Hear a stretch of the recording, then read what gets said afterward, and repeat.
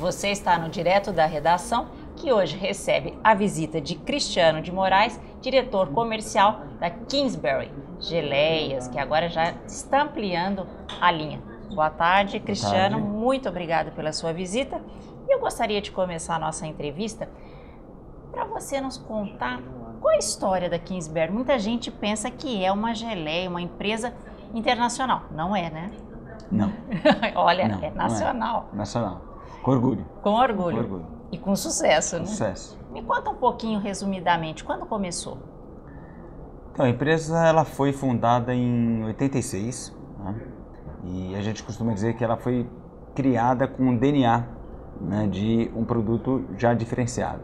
Sim. Então, o, o, a característica de produto premium da Queensberry, de marca premium da Queensberry, vem desde o início, desde a fundação. É, geralmente, quando eu conto a história da, da empresa, a gente faz um, uma linha do tempo, voltando Sim. atrás, né? É, para lembrar como é que era o mercado consumidor em 1986. 30 anos atrás, né? 30 anos Bem atrás, diferente, né? né? Era um mercado fechado, totalmente não fechado, importação. não tinha importação. Os produtos tinham um padrão de qualidade mediano, né? mas muito pouco evoluídos. Né? O nosso produto de consumo era muito pouco evoluído.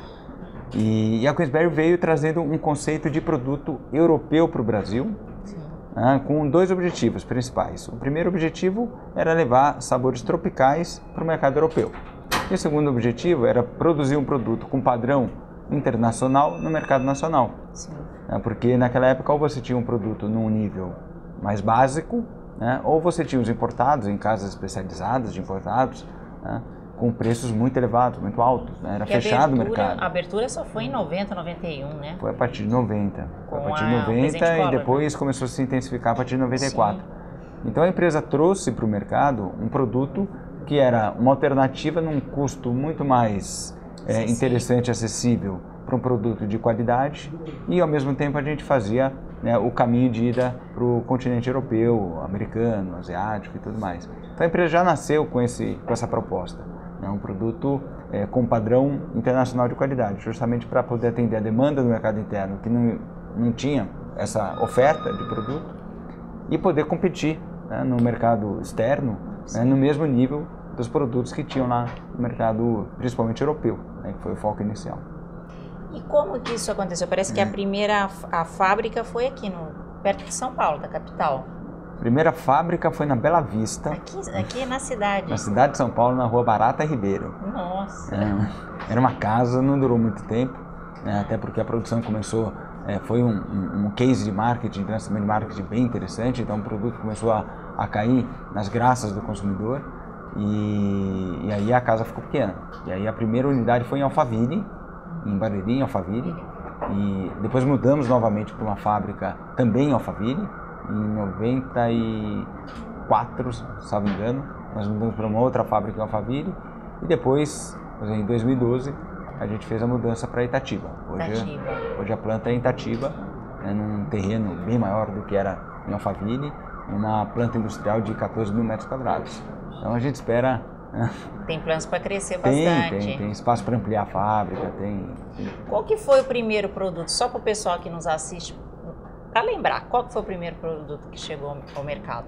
Olha, a primeira linha foi a linha clássica, né, hoje chamada linha clássica. Na época, como era o primeiro, a gente não tinha denominação de linha. Sim. né, Então era exemplo, uma geleia de morango, uma Sim. geleia de né, damasco, uma geleia de, não tinha denominação de linha. Mas hoje ela é a linha clássica, equivalente à linha clássica hoje Classic. E, e eram receitas né, fantásticas, claro que ao longo do tempo a gente foi melhorando, evoluindo o processo, evoluindo receitas, mas eram receitas como dizer, eram fabricações muito é, é, é, lotes muito Artesanais. pequenos, artesanais, né? porque a gente costuma é, separar né, e distinguir o que é artesanal do caseiro. Sim. O- São coisas diferentes que às vezes a gente confunde é. um pouco. O caseiro é você, é aquela receita feita em casa, e o artesanal é aquela receita feita de uma forma mais manual.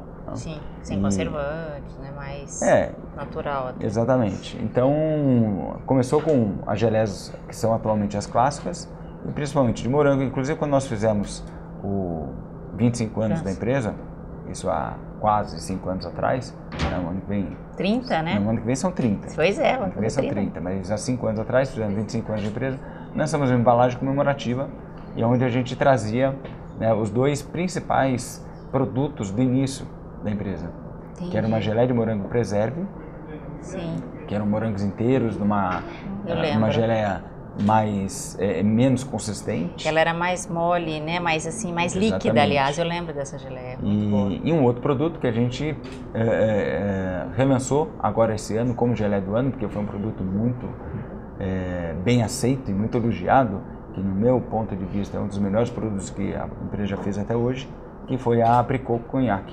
E a gente está relançando ela como geleia do ano. É essa? É essa aqui. Olha então, só. essa além de ser geleia do ano, ela remete Essa. muitas origens da, início. da Queensberry. Sem contar Exatamente. a embalagem, né? Que sempre foi muito é, bonita, é, né? Sempre chamou muita né? atenção no ponto de venda também, né? Não é só o produto que é bom, a embalagem também é muito bonita. É um conjunto, né? É importante. Eu digo que a embalagem faz a primeira venda, o produto a segunda. Aí para fidelizar, então, né? Para fidelizar. Né? Não adianta você colocar uma embalagem bonita e o produto né, não corresponder e vice-versa. Não adianta você ter um produto de qualidade apresentado de uma forma né, não tão de qualidade. O varejista hoje, né, falando agora em embalagem, né, em, em, ponto de venda, em prateleira, ele sabe trabalhar a categoria né, de geleias, no caso. Ele consegue colocar o produto ali, dá, ele consegue fazer uma boa exposição do produto, vender esse produto realmente para o consumidor final? Olha, muito boa pergunta. é, porque isso é uma bandeira que a gente já vem trabalhando há um tempo e evoluiu muito. A categoria de geleias de fruta hoje no varejo é uma categoria é, bem valorizada pelo cliente final. É, ou seja, eles enxergaram que é uma categoria que agrega valor, agrega rentabilidade e, e dá um destaque, né? dá um, uma beleza Nossa. diferente na loja.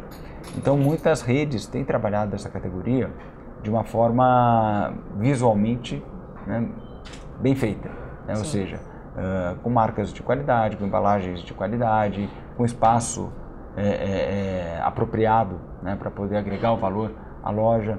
Né? Inclusive, quando você viaja lá fora, né, você vai numa prateleira de geleias, é maravilhosa. Sim. Né?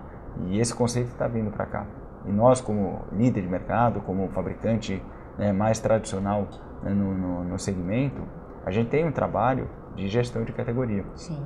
Justo por isso que eu falei que isso é uma bandeira que a gente vem é, carregando aqui.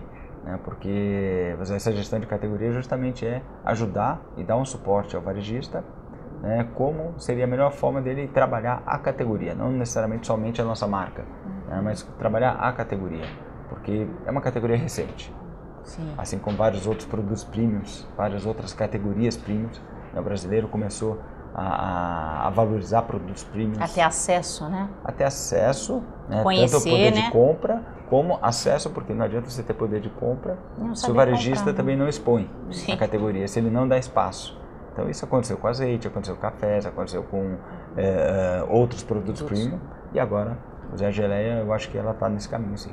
Tem algum, alguma época do ano que o consumo aumenta, aquece, ou é, uma, é uma, um consumo linear durante o ano? O brasileiro hoje ele consome muito a categoria ou ainda não não não está do jeito como vocês gostariam? Ainda tá ele está percebendo, está conhecendo? Como é que está isso hoje? Olha, nunca está do jeito que eu gostaria, tá?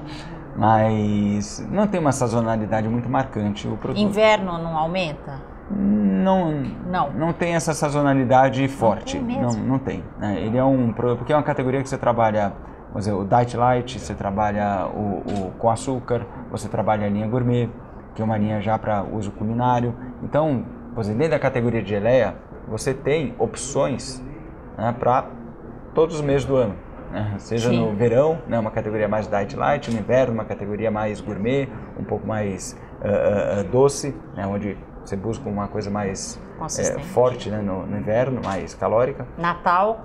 Natal, por causa das festas. Então, o que a gente costuma dizer é que a sazonalidade ela é muito mais econômica né, do que dizer, de demanda do produto. Ou seja, Sim. o segundo semestre, naturalmente e economicamente, é mais forte que o primeiro. Então, geralmente, o final de ano, que é uma época de alto consumo no comércio, também aquece um pouco as vendas. Então, outubro, novembro e dezembro né? são os meses mais fortes. O segundo semestre é mais forte que o primeiro mas nada que tenha um pico e um vale que caracteriza como sazonalidade da categoria. Vocês estão no Brasil inteiro, ponto de venda. Como é que vocês fazem essa distribuição? Frota própria, distribuidor, distribuidor exclusivo? Eu sei que é vocês tiveram um encontro né, com distribuidores aí durante a APAS, né? É multicanal.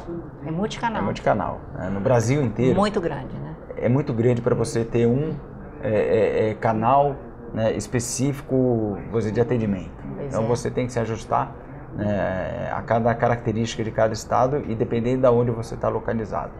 Então a gente tem desde venda direta, é, venda via distribuidor, venda para o que a gente chama de key accounts, venda para o food service direto, venda para o food service através de ah, distribuidor.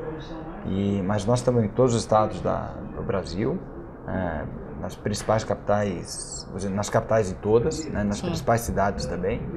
E, mas o nosso alcance depende muito de distribuidor pela distância do país. É então a gente acaba fazendo a venda direta é, para alguns clientes onde justifica essa entrega, né, pela questão logística, porque a gente Sim. tem sérias dificuldades logísticas no país, e aqueles pontos que a gente tem uma dificuldade logística para alcançar, ele é feito através de distribuidores. A geleia está no varejo de vizinhança facilmente? Ela chega? Ela está no varejo de vizinhança e a gente está olhando com muito carinho esse canal. É, é, é bom olhar. com muito carinho esse canal, porque é um canal que individualmente ele representa muito pouco, né? mas na somatória ele ajuda. Ele é significativo até pela importância. Mais de 5 mil pontos, até né? pela importância e pelo crescimento desse canal. Sim. Então hoje a gente tem uma, uma equipe de 70 distribuidores espalhados no Brasil inteiro e, e fornecendo também para aqueles varejos que têm aberto lojas de vizinhança. Sim.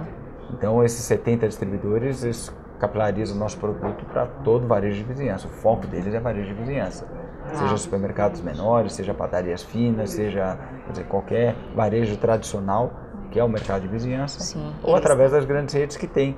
Né, tem aberto lojas de vizinhança aí como foco de abertura de lojas.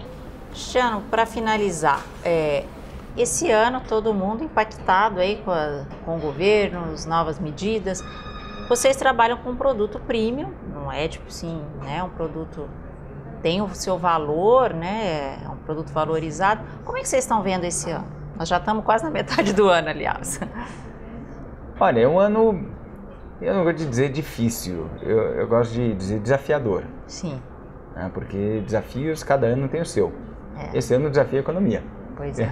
é. ano passado a gente teve outros desafios, ano que vem vão ter outros desafios. Né? Brasil vive, mesmo, vive né? de desafios. Eu diria que o empreendedor, o empresário, as indústrias vivem de desafios. Sim. Né? E, então é um ano desafiador. O desafio é na economia. Então a gente tem que ser criativo. E isso é o que eu tenho pregado para a nossa equipe, isso que eu tenho pregado internamente, que a gente precisa ser criativo e entender o que o consumidor quer. E o consumidor não perdeu o desejo. Não. Né? Ele está fazendo melhor as suas né? escolhas. Ele conquistou. Ele conquistou. Não, o que acontece é que o consumidor está fazendo as escolhas dele melhor. Sim. Então nós temos que ser essa melhor escolha. Sim. Temos que estar no lugar certo, na hora certa, da forma correta, né, num custo-benefício que é, o consumidor reconheça o valor do produto e pague por aquilo. Né?